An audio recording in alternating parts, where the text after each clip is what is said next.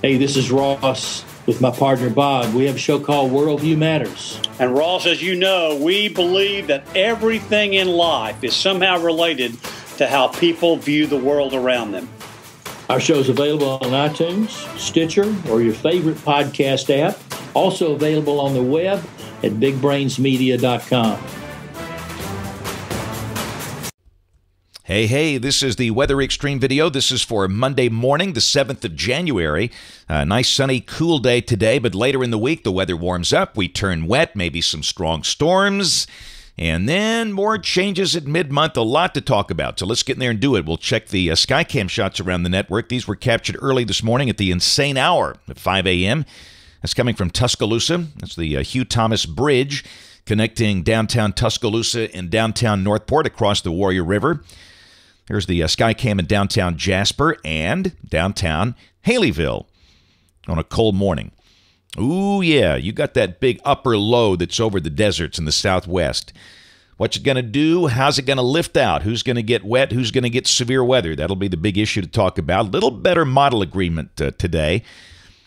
Pretty cold start this morning. We got readings below freezing in most spots around here. We'll wind up in the uh, mid 50s uh, today. In fact, let me just show you the uh, actual chart here for the next seven days. While you know highs will be around what 55 today on this graph, anywhere from 50 to 55. Look at the 70 degree warmth coming in here later in the week. Wow, the big January thaw. But don't get used to that because we'll turn much, much colder soon after this period, as you'll see. And a lot to talk about today. Temperatures around the nation, I'd say they're seasonal this morning.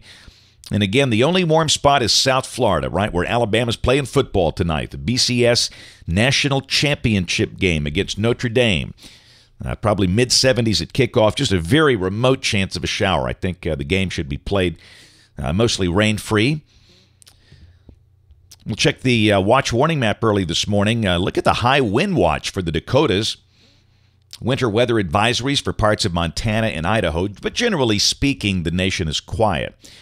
Now, with the upper low coming out, severe weather possibilities. This is day two for Tuesday or tomorrow. A slight risk over South Texas. And where do you think the weather weenies of the world are gathering this week? South Texas. In Austin, the AMS convention. It's called the AMS effect. Some weird weather always happens wherever they meet. It's just the way it works. And uh, I will be there for a couple of days this week. Quick trip. Uh, this is day three, which is Wednesday. The risk area expands to the east over southeast Texas and much of Louisiana. And beyond that, SPC does not have any uh, risk involved in day four at this point. And that if we have any severe weather, it's going to be Thursday or Thursday night, as you'll see as we go along here. And uh, here's the rain with this thing lifting out, and the really big rains a little west of here. Heaviest rain axis from near Houston to Indianapolis, and that would include places like Shreveport, Little Rock, and Memphis. And in Alabama, the rains taper off from uh, over two inches around the shoals down to less than a half inch around Dothan. And I think that's a pretty well drawn chart, as you'll see. Uh, let's get in there and take a look at what's happening. First off, uh, the GFS. This is the 06Z run at noon today. at 500 millibars. There's your upper low just southwest of Phoenix. And again, down below that, a beautiful day here, sunny and mid 50s, just gorgeous. Enjoy the sun, though. Tomorrow, the upper low is over Mexico. And those always present a problem in that when, when you've got something like that, the core of the upper low is not in the American upper air system. And sometimes that can lead to flaky model data. But uh, down below that, uh, uh, we stay dry, but clouds will increase tomorrow and we warm up to near 60 as the big warm up begins, as the thickness values are coming up. Wednesday, the upper low is on the Rio Grande, and uh, you can see a warm front is lifting north through here. There's the surface chart. The uh, surface low should be near Austin, with a warm front extending over to about, uh, well, Interstate 20, uh, Shreveport, Jackson, Birmingham. And so Wednesday should be a day with developing showers and maybe some thunder. Uh, not sure it rains all day. Don't think it will. And severe weather not likely with the warm front, but there could be a heavy downpour or two. And uh, again, we'll be in the 60s on Wednesday. Thursday, that uh, that's a fairly, you know, fairly problematic look right there for areas just just west of here, and maybe parts of north and west Alabama. We got a negative tilt uh, feature. You know, the, the upper system is lifting out. Down below that, the surface low is north of Oklahoma City with a batch of showers just west of here.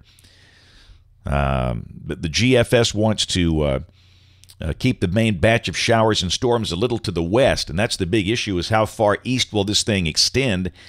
We'll look at the severe weather parameters for 6 p.m. Thursday uh, off the GFS. This is the instability. And again, this is the Lifted index where you see the greens. That means the air is, is unstable. The, the really big instability values are the uh, yellows down in the Gulf, uh, you know, marginal values up in here, which is fairly typical for uh, January. But there is sufficient instability there for some maybe strong storms Thursday evening. This is the shear, the bulk shear, and the higher values are over northwest Alabama. Uh, and the really big numbers are from Memphis up into uh, uh, southern Illinois. But up there, the instability is not there. So it's kind of out of phase, but this would maybe suggest a window for strong to severe storms, especially over northwest Alabama Thursday afternoon or Thursday night. Um, and again, we'll fine tune that, but it just seems a little out of phase for a big issue.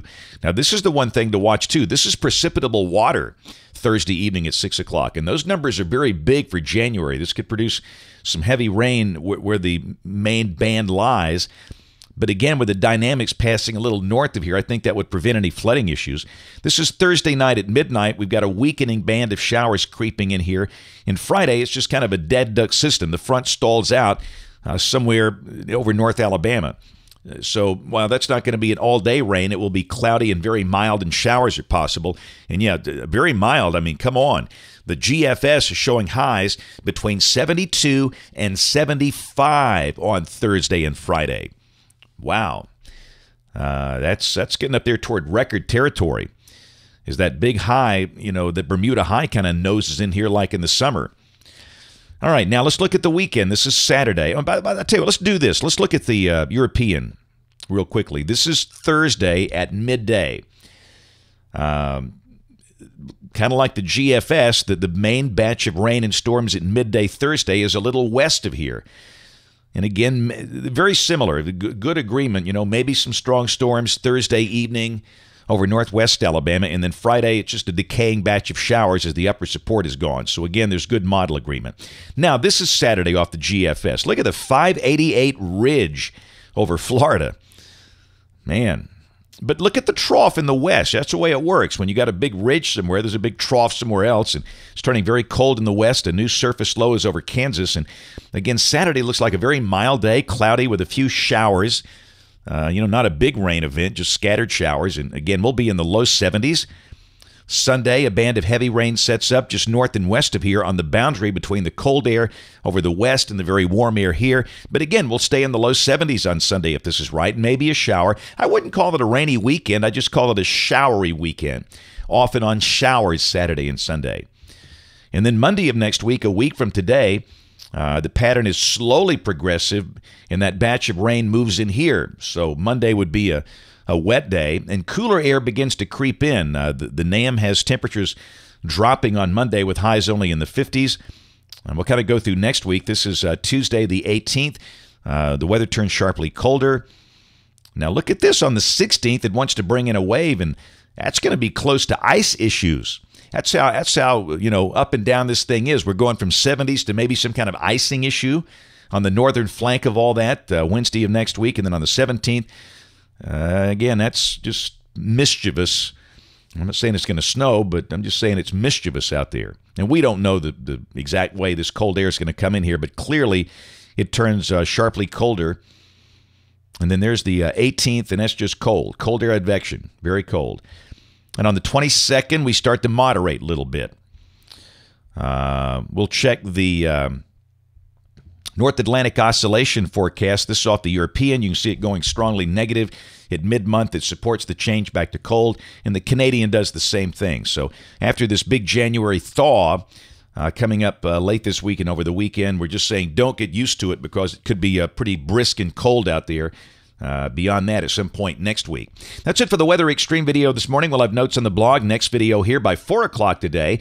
And don't forget to watch us on ABC 3340 News this evening at 4, 5, 6, and 10 on the live stream or the television side. Thanks for watching. Have a great Monday, and God bless. Hi, I'm Steve Sample with Bama Talk. Don't miss a single episode of Bama Talk Show, available now on iTunes, Stitcher, or your favorite podcast app, and on the web at bigbrainsmedia.com.